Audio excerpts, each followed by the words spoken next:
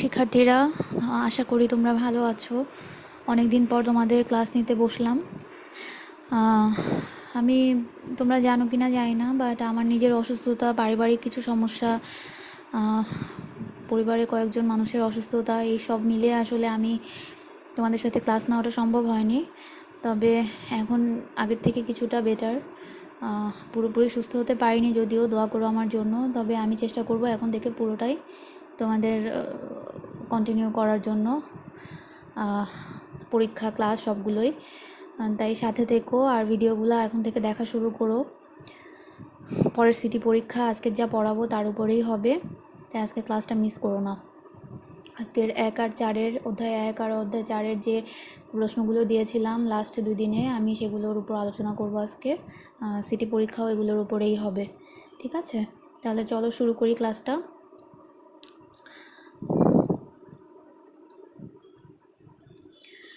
দেখো, এখানে প্রথমে অধ্যায় একের কথা বলেছে যে সৃজনশীল প্রশ্ন, ব্যবসায় পরিচিতির। এখানে প্রথম সৃজনশীলটা বলেছে, দেখো, দুইটা প্রতিষ্ঠানের কথা এখানে বলেছে। প্রথম প্রতিষ্ঠানটা কি করছে? প্রথম প্রতিষ্ঠানটা হচ্ছে ক ক প্রতিষ্ঠান। তারা হচ্ছে সুতা থেকে কাপড় তৈরি করছে, বস্ত্র, চামড়া থেকে জুতা তৈরি করছে, কাঠ থেকে আসবাবপত্র তৈরি করছে। আর খ প্রতিষ্ঠান কি করছে? বিদ্যুৎ উৎপাদন করছে এবং সেটাকে বিতরণ করছে, গ্যাস উৎপাদন করছে এবং বিতরণ করছে। তাহলে দুইটা প্রতিষ্ঠানের কথা বলেছে। তো দুই দুই প্রতিষ্ঠান দুই ধরনের কাজ করছে। আমরা জানি যে এইগুলো কিসের অন্তর্ভুক্ত? এরা শিল্পের অন্তর্ভুক্ত। প্রতিষ্ঠান বলো বা শিল্প প্রতিষ্ঠান বলো, যেটাই বলো, শিল্পের অন্তর্ভুক্ত। আমরা যখন অধ্যায়ে এক পড়েছি, তখন আমরা ব্যবসায়ের যে তিনটা ভাগ দেখেছি, যে শিল্প, বাণিজ্য আর হচ্ছে প্রত্যক্ষ সেবা সেখানে কিন্তু আমরা শিল্পের ভেতরে পাঁচ ধরনের শিল্প দেখেছিলাম। সেই পাঁচ ধরনের শিল্পের ভেতরে হচ্ছে একটা ছিল উৎপাদন শিল্প আর একটা ছিল হচ্ছে সেবা শিল্প, তাই তো?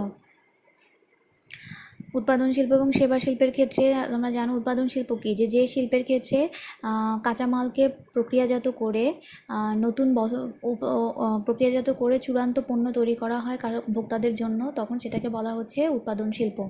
ঠিক আছে? ম্যানুফ্যাকচারিং ইন্ডাস্ট্রি যেটাকে বলে, যেমন কাপড় বস্ত্র শিল্প, সুতা থেকে বস্ত্র তৈরি হয়, কাঠ থেকে আসবাবপত্র তৈরি হয়।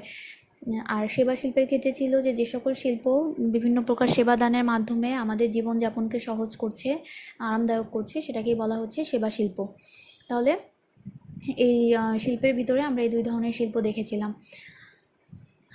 তো ইজিলি তোমরা বলতে পারো যে, প্রতিষ্ঠান ক হচ্ছে? উৎপাদন শিল্প অন্তর্ভুক্ত আর খ হচ্ছে খ হচ্ছে সেবা শিল্পের অন্তর্ভুক্ত। এখন আসো আমরা প্রশ্নে যাই। প্রশ্ন কি বলেছে দেখো, ব্যবসায় কি? ব্যবসায় আমরা জানি, ব্যবসায় হচ্ছে অর্থনৈতিক কর্মকাণ্ড, বৈধ উপায়ে মুনাফা অর্জনের উপায়কে বলা হয় ব্যবসায়। এরপরে খ বলেছে, উন্নত যন্ত্রপাতি ব্যবহার কোন পরিবেশের অন্তর্গত ব্যাখ্যা করো। উন্নতি, উন্নত যন্ত্রপাতি ব্যবহার প্রযুক্তিগত পরিবেশের অন্তর্গত। আমরা জানি যে চ্যাপ্টারে আমরা দেখেছিলাম যে ছয় ধরনের পরিবেশের উপাদান আছে। তার মধ্যে হচ্ছে লাস্টেরটা ছিল কি? প্রযুক্তিগত পরিবেশ। তো উন্নত প্রযুক্তিগত পরিবেশের ক্ষেত্রে যেটা হচ্ছে যে উন্নত যে প্রযুক্তি নির্ভর যে প্রতিষ্ঠান বা উন্নত প্রযুক্তির ব্যবহার, এগুলো প্রযুক্তিগত পরিবেশের উপাদান। তো প্রযুক্তিগত পরিবেশের পরিবেশের যে বিষয়টা, সেটা দুই তিন লাইনে তোমরা একটু ব্যাখ্যা করে দিবে যে প্রযুক্তি শিল্প, ব্যবসা, বাণিজ্যে উন্নতিতে দক্ষতা সম্পন্ন কর্মী দরকার, উন্নত যন্ত্রপাতি দরকার, এগুলো দেখা যায়, এগুলো সবই বিজ্ঞান ও প্রযুক্তিগত পরিবেশের অন্তর্গত এবং এই প্রযুক্তি কী করে, উৎপাদন প্রক্রিয়াকে সহজতর করে, এইভাবে করে লিখে দেবে। দুই মার্কের জন্য খুব বেশি লেখার দরকার নেই। তাহলে উন্নত যন্ত্রপাতি ব্যবহার কোন পরিবেশের অন্তর্গত? প্রযুক্তিগত পরিবেশের অন্তর্গত। এরপরে বলেছে গ নম্বরে উদ্দীপকের ক প্রতিষ্ঠানটি কোন শিল্পের অন্তর্গত? এটা আমি মাত্র বললাম, উদ্দীপকের ক প্রতিষ্ঠানটি উৎপাদন শিল্পের অন্তর্গত। যে শিল্পে কাঁচামালকে প্রক্রিয়াজাত করে চূড়ান্ত পণ্যে রূপান্তর করা হয় ভোক্তাদের জন্য, তাকে বলা হচ্ছে উৎপাদন শিল্প। যেমন বস্ত্র থেকে সুতা সুতা থেকে বস্ত্র তৈরি করা হয় বস্ত্র শিল্প তারপর চামড়া থেকে জুতা তৈরি করা হচ্ছে, কাঠ থেকে আসবাবপত্র তৈরি করা হচ্ছে। সুতরাং আমরা খুব সহজভাবেই বলতে পারি প্রতিষ্ঠান ক হচ্ছে উৎপাদন শিল্পের অন্তর্ভুক্ত। এরপরে উদ্দীপকের খ শিল্প প্রতিষ্ঠানটি গুরুত্ব মূল্যায়ন করো। খ শিল্প প্রতিষ্ঠানটি হচ্ছে সেবা শিল্প। অবশ্যই তুমি খুব আমরা জানি যে সেবা শিল্পের ক্ষেত্রে যেটা হচ্ছে যে যে শিল্প জীবনযাত্রাকে সহজ করে, আরামদায়ক করে, সেই শিল্পই হচ্ছে সেবা শিল্পের অন্তর্ভুক্ত সেবা, তাকেই সেবা শিল্প বলে। তাহলে আমরা খুব সহজেই বলতে পারি যে সেবা শিল্পের আসলে কতটা গুরুত্ব আমাদের জীবনে রয়েছে। কারণ নিজের তুমি একটা দিন ইলেকট্রিসিটি বা বিদ্যুৎ ছাড়া চিন্তা করে দেখো তোমার জীবন কেমন হয়ে যাবে। ওয়াইফাই চালাতে না পারলে তোমরা পাগলের মতো হয়ে যাবে। এই গরমের ভেতরে ফ্যান চালাতে না পারলে এসি চালাতে না পারলে তোমাদের মনে হবে যে তোমাদের জীবন শেষ হয়ে যাচ্ছে। তো কতটা সহজ এবং কতটা আরামদায়ক করা হচ্ছে এই সেবা শিল্পের ভেতর, মাধ্যমে জীবনটাকে, তো সেটা খুব সহজেই কিন্তু তোমরা মূল্যায়ন করতে পারবে। তাহলে উদ্দীপকের ক শিল্প প্রতিষ্ঠানটির গুরুত্ব মূল্যায়ন করো যখন বলবে, তখন অবশ্যই তোমরা বলবা যে আমাদের জীবনযাত্রার জন্য, জীবনযাত্রাকে সহজ করার জন্য সেবা শিল্পের অবদান অপরিসীম। আমরা একটা দিনও চিন্তা করতে পারি না, গ্যাস ছাড়া, বিদ্যুৎ ছাড়া, পানি ছাড়া। তো এগুলো আসলে খুবই গুরুত্বপূর্ণ। তো এভাবে করে তোমরা তোমাদের মতো করে একটু ব্যাখ্যা দিয়ে দিবে, ঠিক আছে? সুন্দর করে গুছিয়ে লেখার চেষ্টা করো। সবসময় যে অনেক বড় অ্যান্সার হতে হবে বিষয়টা তা না। অনেক সুন্দর করে গুছিয়ে অল্পের মধ্যেও কিন্তু অ্যান্সার করা যায়।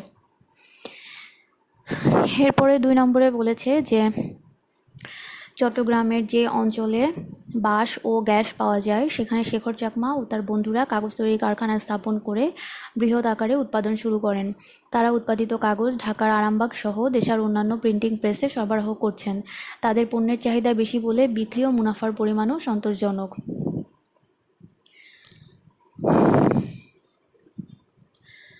তার মানে দেখো উদ্দীপকটা ভরে আমরা দেখতে পাচ্ছি যে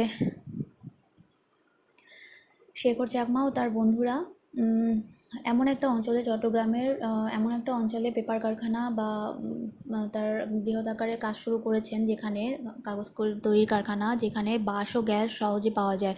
বাঁশ কিন্তু কাগজ তৈরির প্রধান কাঁচামাল।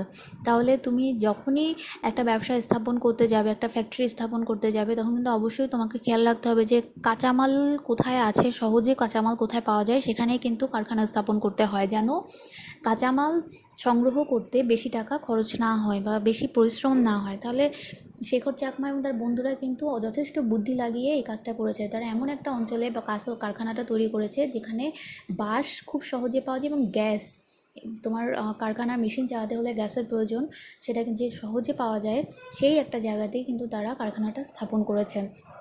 এবং তারা কী করছেন যে এই উৎপাদিত কাগজ ঢাকার বিভিন্ন জায়গাতে সরবরাহ করছেন।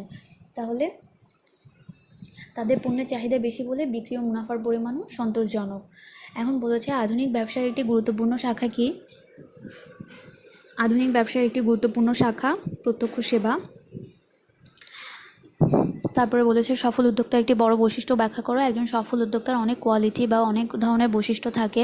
তার মধ্যে হচ্ছে, তুমি লিখতে পারো সৎ, পরিশ্রমী, হার্ডওয়ার্কিং বা যেটাকে বলে, তারপরে বুদ্ধি সম্পন্ন দূরদৃষ্টি সম্পন্ন অধ্যাবসায়ী, সময়ানুবর্তিতা এইসব অনেক কিছু আছে, অনেক অনেক গুণাবলী একজন সফল উদ্যোক্তা থাকে। তুমি তার মধ্যে থেকে যে কোনো একটা বৈশিষ্ট্য খুব সুন্দর করে ব্যাখ্যা করবে যে কেন প্রয়োজন সফল উদ্যোক্তার একটা বৈশিষ্ট্য। ওই বৈশিষ্ট্যটা কেন দরকার সেটা ব্যাখ্যা করবে। এরপরে গয়ে বলেছে, উদ্দীপকে উৎপাদিত কাগজ দেশে বিভিন্ন জায়গায় সরবরাহের মাধ্যমে কোন উপযোগ সৃষ্টি হয়েছে? আচ্ছা তুমি যখনই তোমার উৎপাদিত পণ্য এক জায়গা থেকে অন্য জায়গায় সরবরাহ করতে যাবে, তখন অবশ্যই তোমার পরিবহনের দরকার হবে। তুমি এক স্থান থেকে অন্য স্থানে পণ্য আনানোর কাজটা করছে কে? পরিবহন করছে। পরিবহন কি উপযোগ সৃষ্টি করে? পরিবহন স্থানগত উপযোগ সৃষ্টি করে। তাহলে বিভিন্ন জায়গায় সরবরাহের মাধ্যমে স্থানগত উপযোগ সৃষ্টি হচ্ছে এবং পরিবহনের মাধ্যমে স্থানগত উপযোগ সৃষ্টি করা হচ্ছে। তা তোমরা এটা ব্যাখ্যা করবে এবং উদ্দীপকের সাথে এবং সাথে উদ্দীপকের সাথে এটাকে রিলেট করবে, ঠিক আছে?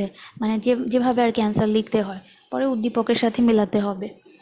এরপরে ঘ নম্বরে বলেছে, উদ্দীপকের ব্যবসায়টি সফলতার পেছনে পরিবেশের কোন উপাদান গুরুত্বপূর্ণ ভূমিকা পালন করেছে? তোমার মতামত দাও।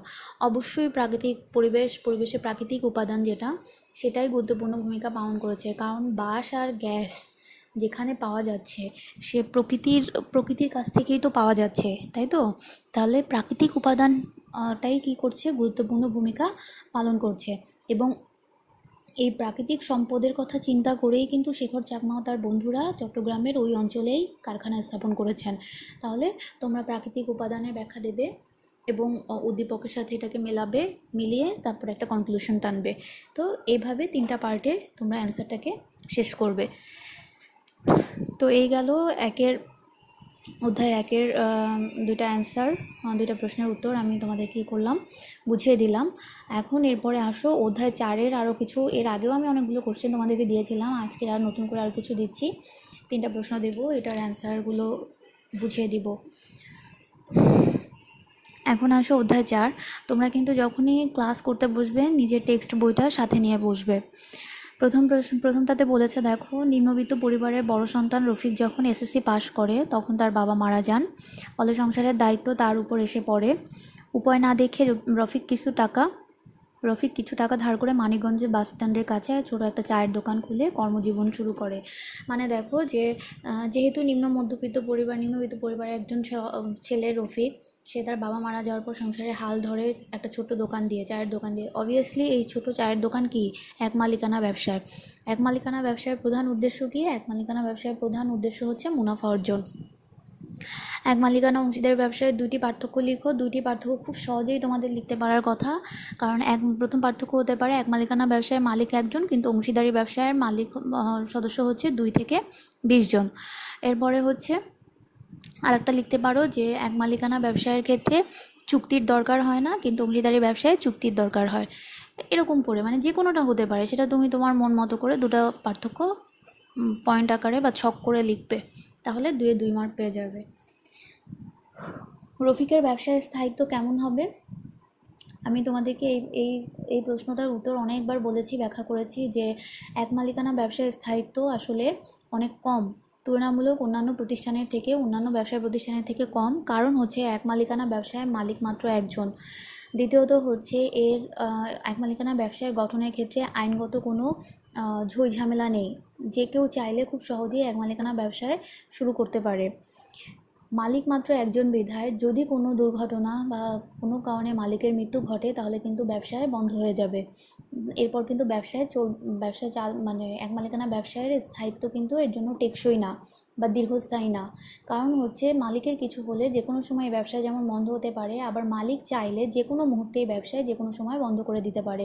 কারণ যেহেতু এই ব্যবসায় গঠনের ক্ষেত্রে আইনগত কোনো জটিলতা নাই, তেমনি এই ব্যবসায় বন্ধের ক্ষেত্র বা বিলোপ সাধনের ক্ষেত্রেও কোনো ধরনের কোনো আইনগত জটিলতা নাই। সম্পূর্ণ মালিকের ইচ্ছার উপর নির্ভর করে বা মালিকের উপর নির্ভর করে। তাই মালিকের যদি কিছু হয়ে যায়, মালিকের যদি মৃত্যু ঘটে অথবা মালিক যদি ইচ্ছায় বা স্বেচ্ছায় বন্ধ করতে চায়, তাহলে যে কোনো মুহূর্তে এই ব্যবসায় বন্ধ করে দেওয়া যায়। তাই বলা হয়ে থাকে রফিক এক মালিকানা ব্যবসায় বা রফিকের ব্যবসায়ের স্থায়িত্ব খুব একটা দীর্ঘস্থায়ী বা টেকসই নয়। এরপরে ঘ নম্বরে বলেছে যে, সাংগঠনিক ধরন বিবেচনায় রফিকের ব্যবসাটি কম ঝুঁকিপূর্ণ, অথচ অসীম দায় সম্পন্ন তোমার মতামত দাও।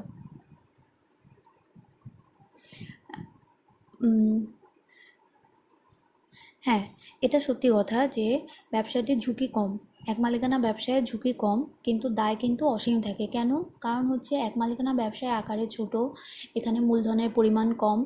যেহেতু মূলধন কম, যে ব্যবসায় আমি একটা কথা বলেছিলাম তোমাদেরকে এই চ্যাপ্টার পড়ানোর সময়, যে যেখানে যত বেশি মূলধন, সেখানে ঝুঁকির পরিমাণ তত বেশি। মূলধন কম, ঝুঁকিও কম। তাই এক মালিকানা ব্যবসায় যেহেতু মূলধনের পরিমাণ কম, তাই ঝুঁকির পরিমাণও কিন্তু কম। কিন্তু দায় অসীম বা সীমাহীন কেন বলে? কারণ হচ্ছে এক মালিকানা ব্যবসায়ে দায় শেয়ার করার জন্য অন্য কোনো মালিক থাকে না। মালিক মাত্র একজন বিধায় এই ব্যবসায়ের যত দায় হবে, যত পাওনা সব কিছুই কিন্তু ওই মালিককেই কী করতে হবে? শোধ করতে হবে। এমনকি যদি দায় অনেক বেশি হয়ে যায়, সেক্ষেত্রে কিন্তু মালিককে তার ব্যক্তিগত সম্পত্তি বিক্রি করে হলেও সেই দায় পরিশোধ করতে হবে। তাই বলা হয়ে থাকে, এক মালিকানা ব্যবসায় কম ঝুঁকিপূর্ণ হলেও এর দায় কিন্তু অসীম। এই গেল এক নম্বরের অ্যান্সার এরপরে দুই নম্বরে বলেছে, জনাব রাফসান ও তার ছয় বন্ধু একত্র হয়ে সত্তর কোটি টাকা মূলধন নিয়ে ব্যবসা শুরু করে। রাফসান কোন নামে? রাফসান ও তার বন্ধু পরিচালক নিযুক্ত হন। তাদের সঠিক পরিচালনায় ব্যবসায়টি অল্প সময়ই সফলতার মুখ দেখে। পরবর্তীতে তারা পরিচালকের সংখ্যা ও মূলধন বাড়ানো সহ ব্যবসায়টি সম্প্রসারণের সিদ্ধান্ত নেন। এই লক্ষ্যে তারা জনগণের মাঝে উচ্চহার সুদের ব্যাংক ঋণের পরিবর্তে শেয়ার বিক্রি করে মূলধন সংগ্রহের উদ্যোগ নেন।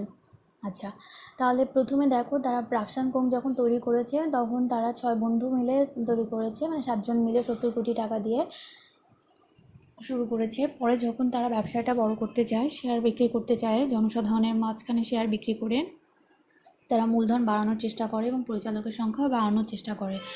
তাহলে আমরা বলতে পারি, প্রথম যে প্রতিষ্ঠানটা তারা খুলে সেটা private company private limited company এবং পরে যেটা খুলতে চাচ্ছে বা বাড়াতে চাচ্ছে যখন, তখন অবশ্যই সেটা পাবলিক লিমিটেড কোম্পানি এখন আসো প্রশ্নের ভেতরে যাই আমরা। পরিমেল নিয়মাবলী কি? আমরা জানি পরিমেল নিয়মাবলী হচ্ছে যে নিয় যে যে কি বলব এটাকে? আমরা জানি কোম্পানির দুইটা গুরুত্বপূর্ণ সনদ রয়েছে বা দুইটা গুরুত্বপূর্ণ কাগজ রয়েছে। সেটাকে একটা হচ্ছে তোমার স্মারকলিপি, যেটাকে মূল দলিল বলা হয়, দু ধরনের, দুইটা দলিল। তার মধ্যে প্রথমটা মূল দলিল হচ্ছে স্মারকলিপি। পরিমেল নিয়মাবলীও অনেক গুরুত্বপূর্ণ একটা দলিল, যে দলিলে কোম্পানি পরিচালনার নিয়মাবলী লিপিবদ্ধ থাকে, তাকে পরিমেল নিয়মাবলী বলে। ঠিক আছে? যেখানে কোম্পানি পরিচালনার সকল নিয়ম, নীতি লিপিবদ্ধ থাকে। সেটা হচ্ছে পরিমেল নিয়মাবলী, এটা দ্বিতীয় গুরুত্বপূর্ণ দলিল।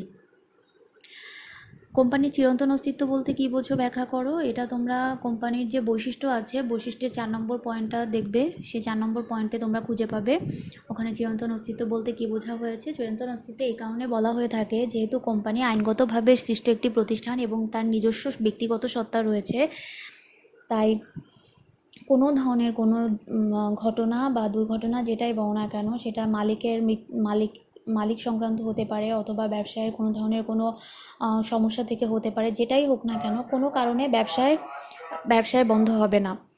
ব্যবসায় বন্ধ হবে না।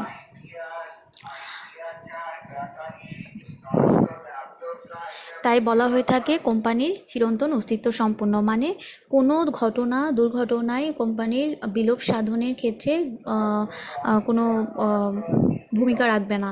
যেহেতু কোম্পানি নিজস্ব সত্তা দ্বারা পরিচালিত একটি প্রতিষ্ঠান।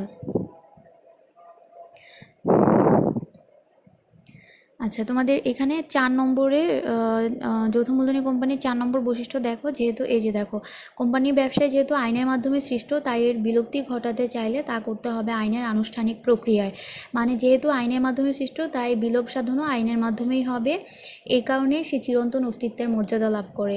কোনো শেয়ার হোল্ডার যদি মৃত্যুবরণ করে, দেউলিয়া হয়ে যায় বা শেয়ার হস্তান্তর করা হয়, তারপরেও কিন্তু কোম্পানির কোনো বিলোপ সাধন হবে না। ঠিক আছে? তো এর জন্য বলা হয় যে, চিরন্তন অস্তিত্ব সম্পন্ন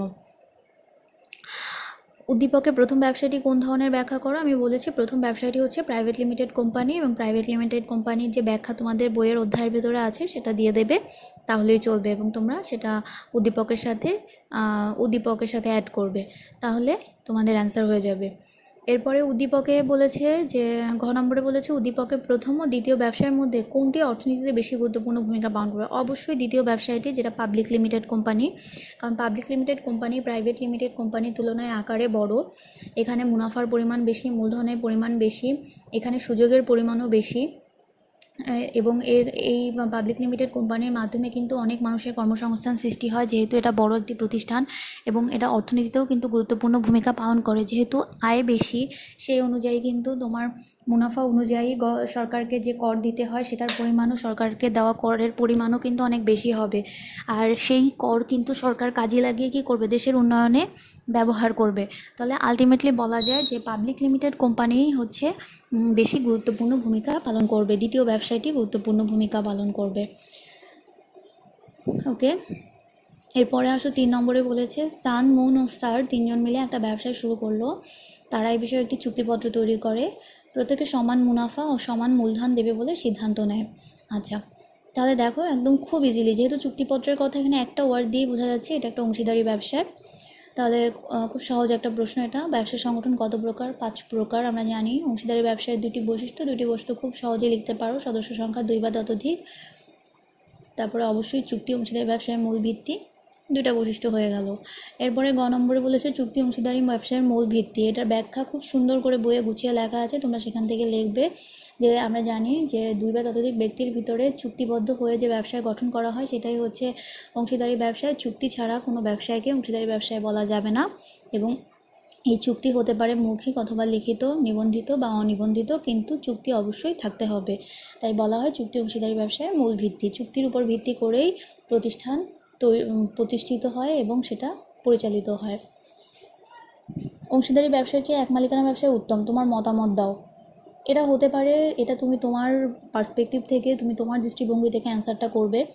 হতে পারে, এটা তুমি বলতে পারো যে হ্যাঁ এক মালিকানা ব্যবসা উত্তম, এটা তুমি সেটা তোমার মতামত দেবে যে হ্যাঁ আসলেই এক মালিকানা ব্যবসায় উত্তম। আবার অনেকে বলতে পারো যে, না মেস এক মালিকানা ব্যবসায়ের চেয়ে অংশীদারি ব্যবসাটা অনেক বেশি উত্তম, যেহেতু এখানে সদস্য সংখ্যা বেশি, দায় কম, তুলনামূলক এক মালিকানার থেকে। আবার হচ্ছে যে মূলধনের পরিমাণ বেশি, সেক্ষেত্রে অংশীদারি ব্যবসাটা উত্তম। তো এটা হচ্ছে একটা কন্ট্রাডিক্টরি বা কনফ্লিক্টিং একটা ইস্যু তো কিন্তু যে যেটাই লেখো না কেন, সে সেটা কিন্তু তোমরা তোমাদের দৃষ্টিভঙ্গি থেকে সুন্দরভাবে ব্যাখ্যা দেবে। যে কেন অংশীদারি ব্যবসায় উত্তম, সেটার ব্যাখ্যা সুন্দর করে দেবে সলিড এক্সপ্লানেশন দিবে, যুক্তি দেবে। আর কেউ যদি লিখো যে না, এক মালিকানা ব্যবসায় উত্তম, সেটারও একটা সলিড রিজনিং তোমরা দেখাবে। তো এটা সম্পূর্ণ তোমাদের উপর। জাস্ট ফ্রি রাইটিং কোশ্চেন এটা। তুমি নিজের মতো করে লিখবে। ঠিক আছে? তাহলে এই গেল আজকের ক্লাস আমি অধ্যায় এক আর চারের যে আলোচনা করলাম, আমি নেক্সট সিটি পরীক্ষাটাও এইটার উপরেই নিব এবং তোমরা এগুলো বাসায় প্র্যাকটিস করবে। আর পরবর্তী ক্লাসে আবার তোমাদের সাথে কথা হবে। ভালো থেকো, আমার জন্য, আমার পরিবারের জন্য একটু দোয়া করো। ঠিক আছে? Bye bye